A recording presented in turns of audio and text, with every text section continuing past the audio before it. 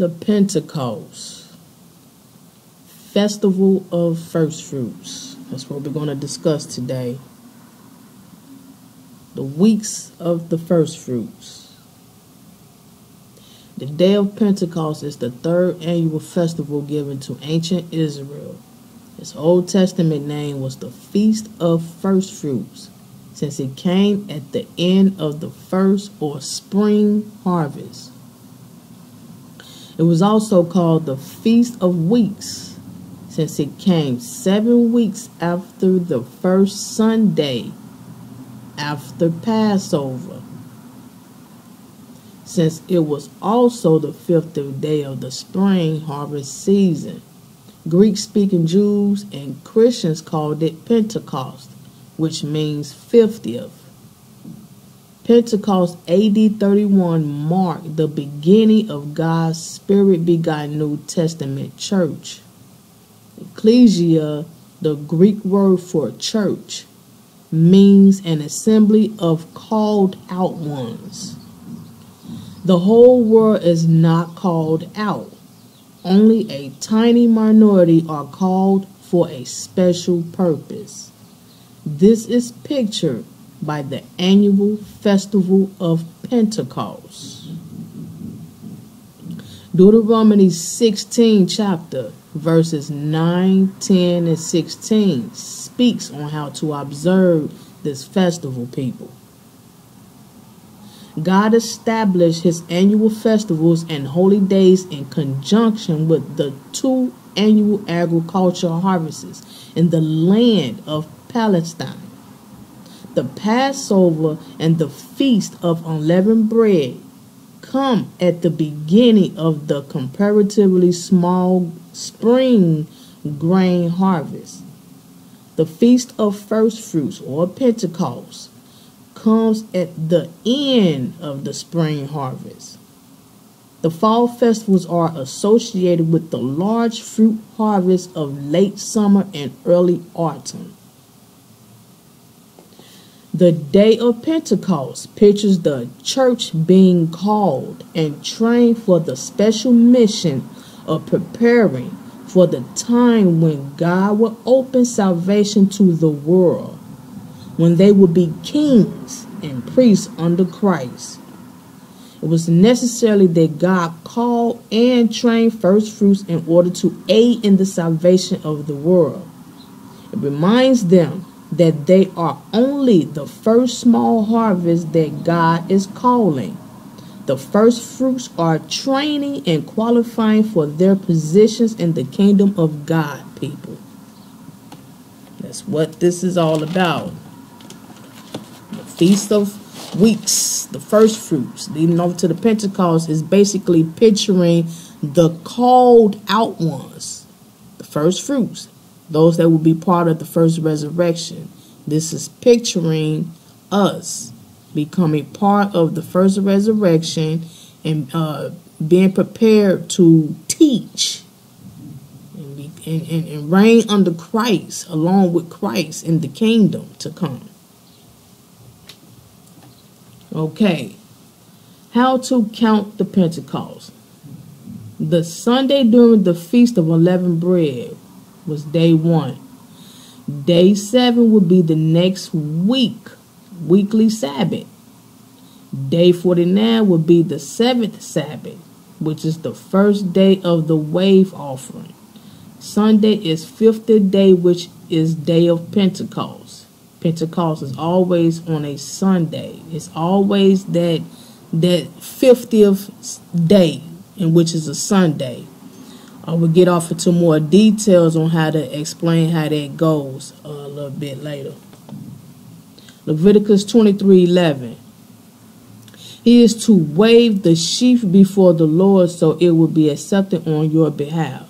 The priest is to wave it on the day after the Sabbath, which is the first Sunday during the Feast of Unleavened Bread after the Sabbath.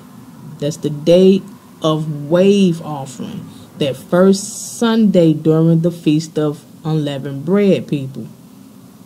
It's called the Day of Wave Offering, that first Sunday during the Feast of Unleavened Bread.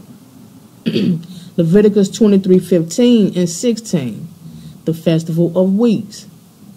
From the day after the Sabbath, the day you brought the sheaf of the wave offering, count off seven full weeks, count off 50 days to the day after the seventh Sabbath.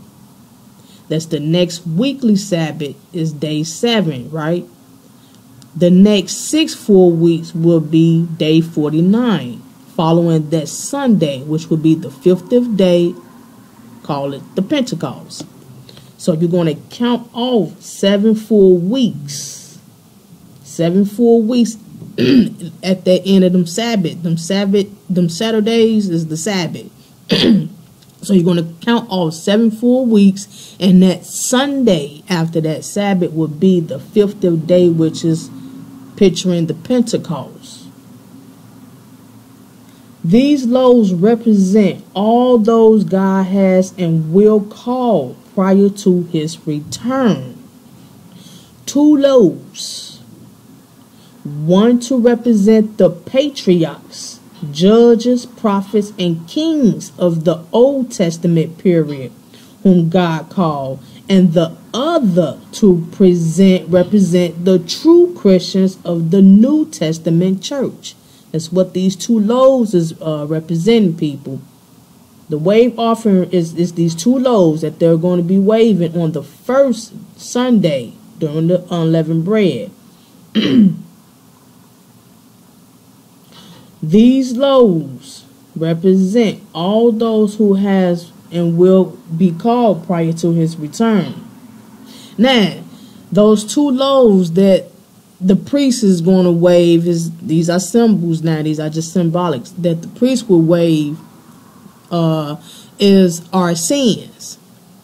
Those are picturing our sins being you know put away and and and you know waved up, waved around. You know for presented to God. You know so, but what I'm saying is, the Bible is saying that the two loaves is representing the Old Testament patriarchs, judges, prophets, and kings, and the and the other loaf is representing the New Testament church. See how that's going? See how the whole Bible matters? The Old and the New Testament comes together when the first resurrection began, people, all those who were called by God will be called into the kingdom. Even the Old Testament uh, uh, patriots and, and, and, and all that was called during the first uh, uh, covenant, they're going to be called first. They're going to be risen first. This is how he got it all planned. So is the, the Old Testament is not done away with, people. The Old Testament is not done away with. One represents the patriarchs, judges, and prophets and kings of the Old Testament period, whom God called. And the other represents the true Christians of the New Testament church, the spirit begotten Christians of today. Moedom Moedom means God's appointed times. This is very important, people. Moedom in Hebrew means God's appointed times. Christ told his disciples to be in Jerusalem so on that holy day they will receive God's Spirit. If the disciples had not been observing God's holy days, they would not have been there to receive God's Spirit. This is the reason why I say, repeating from the scripture, I'm just teaching, I'm the messenger. That's why I teach that you must go along with scripture, not man. You have to go by God's appointed time. He has his appointed time set for us for a reason. If we don't go by his specific appointed time, we're going to miss it. We're going to miss whatever He has for us. We're going to miss it. The problem with people is that they claim since they're doing it, exercising it, that's enough. We don't have to do it exactly on this day, he say, or that day, or that time, or that date. Long as we doing it, that's all that matters. But that's a life on the pit of hell. Just like with the Sabbath. You got people doing the Sabbath the way they want to do it on a Sunday, on a Tuesday, on a Wednesday, but that's a lie. Yahuwah said the seventh day is the day of rest, not the third day, not the first day, not the fifth day. He said the seventh day. You have to do it his appointed way or you're going to miss it. That's what Moedim means. Appointed times. God's appointed times. If the disciples had not been there in Jerusalem, they would not have received God's Spirit. They would have missed it if they'd have been in California somewhere. If they'd have been in New York somewhere not saying that these cities was them. I'm just I'm I'm just giving an example. If God say be in Jerusalem on this day at this time, you be there. You don't say, well, he said exercise this, but we're going to do it in New York at this time. What's the, what's the point of that? You're going to miss it. Christ told his disciples to be in Jerusalem. So on that holy day, they will receive God's Spirit. If the disciples had not been observing God's holy days, they would have not been there to receive God's Spirit. They were observing God's holy days. That's how they even received it. They received the Holy Spirit by obeying. They they obeyed and they got what they was blessed with, and that's God's Holy Spirit. If they hadn't been there doing what they want to do at they set time, like the Pharisees and the people of the day, they would have missed it. That's why you got people who claim they do everything for the Lord, but they still feel they're not blessed. That's because they're not doing it the way God said do it. They doing it their way. They doing things for their comfort. They're not doing it for God. they're doing it for themselves. And that's why people still feels unblessed, still feel miserable, still feel unease about serving God. The point of this for the uh the first fruits the first fruits grow in spiritual character, becoming better prepared to rule and teach in the world tomorrow. That's what this is all about. The Pentecost is is was given to the disciples on that 50th day when Yeshua was was was resurrected, it took 50 days for them to receive that. So this is what is all picturing. And in order for them to go out and teach and be filled with his spirit, they had to have been there by obeying and observing his holy days to receive it at that appointed time. So that's what made them more obedient and get that blessing to be able to qualify to be teachers and have authority out there in the world amongst the wolves. They had authority to teach, uh, to heal. They, they, they, they had that. They were blessed with that because they were well, they were posed they had been at that appointed time. So they received the gift to heal and teach you know? And now they're they they they they're the, the the part of the first church. They're the first church. They were jesus has founded them as the first church When you obey, you get that blessing. You be found favor and you become a leader in Christ. You have authority. You are protected. All that comes with it. When you have the glory of God in you, the, the spirit in you, you have all type of authority from God. No matter what man say or how they feel about your blessing from God, you are untouched by the world.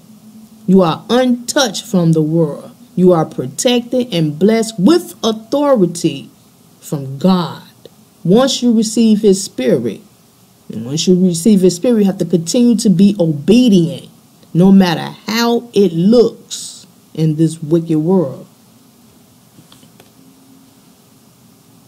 AD 31, God sent his spirit to begin his church, to beget and strengthen the first fruits he was beginning to call into his church symbolically represented by one of the wave loaves. God's church observes the Feast of First Fruits as an annual reminder of this step in God's master plan. God's people today are merely the first fruits, the small first group to be offered salvation through Christ. Remember that now. I got videos, I told y'all about that word salvation the small first group to be offered salvation through Christ. The called ones, the first fruits, are the only ones on this earth right now who have received salvation. Only God's called ones have received salvation right now on earth. Huh? So just just just know that. I have videos to explain why and how that is. God created man incomplete. Man was given a human spirit, needing God's spirit. He was made mortal, needing to be given immortality. He was created a free moral agent, needing to develop character. God does not create all at once but in successive stages. Every stage is a progressive step toward the goal of establishing his kingdom and restoring his government on earth. Everything is a process. Thank you, Father. You got the Passover, all the way to the end of the great day, the last great day, the eighth day. You have all these festivals, which are seven festivals. And if you look into the festivals, it is the whole purpose of God's plan for mankind, people. I have videos on this. God's holy days. Leviticus 23 is specifically breaking down these holy days, these festivals, on how to observe it. But the meaning is also breaking down from God's true church. You're not going to find this at uh, your local uh, church on the corner. You're not going to find this at the tele televangelist TV channel. They're not going to teach this. You're not going to get this at the Catholic Church over there across the street or, or St. Mount Baptist Church over there across the liquor store. You're not going to get this on YouTube from the, the majority of those who has these mega churches on TV and on social media. They're not going to teach the Moedom. They're not going to teach God's whole purpose for mankind explaining through these festivals. And I guarantee if you are listening to this, you are called.